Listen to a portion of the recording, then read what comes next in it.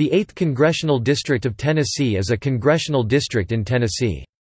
It currently includes most of the western third of the state and borders Arkansas, Mississippi, Missouri, and Kentucky.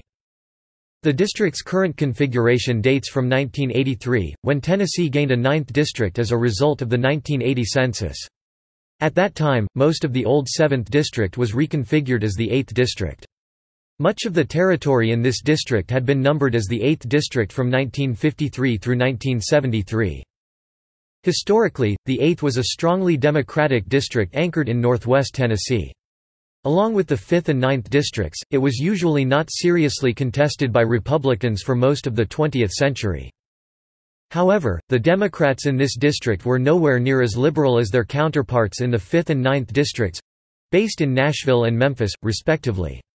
As with the 4th and 6th in Middle Tennessee, most self-identified Democrats in the 8th are usually conservative on social issues, and expect their legislators to focus attention upon obtaining federal funds for local public works or economic development projects, rather than to develop any talents for formulating public policy. This was especially important during the days when seniority played a greater role in determining congressional influence than presently. Like their neighbors in nearby Mississippi and Kentucky, voters in West Tennessee have been gradually abandoning the Democrats in favor of Republicans over the past 20 years, largely under the influence of religious conservatism part of the Bible Belt.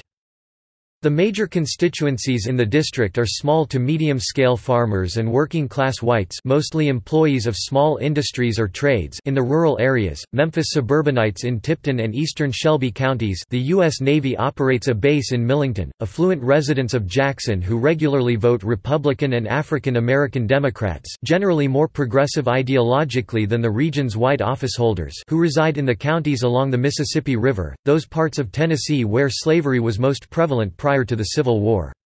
For many years, these two groups largely cancelled each other out in the voting booth, leaving the balance of power in the hands of voters in the counties closer to Kentucky and along the Tennessee River. As a result, it was long reckoned as a classic, "'Yellow Dog Democrat' district. However, after the 2010 census, Fayette County and most of eastern Shelby County was shifted over from the 7th District.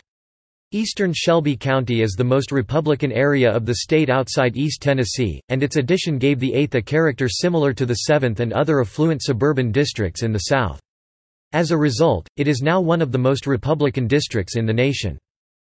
The bulk of the district's vote is cast in the wider, wealthier sections of Memphis, as well as most of that city's suburbs in Shelby Germantown, Bartlett, Collierville, Millington, Cordova and Fayette counties.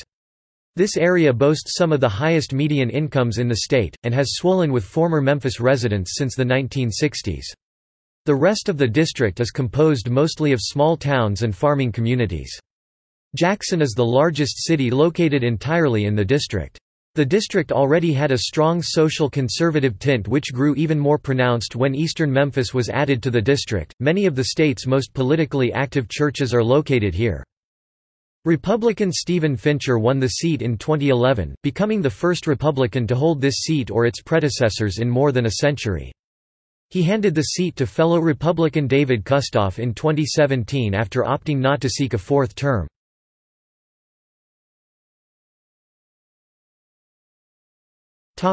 List of representatives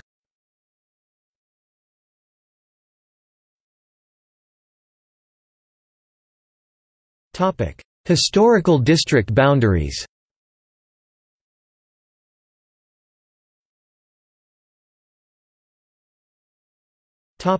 See also Tennessee's congressional districts List of United States congressional districts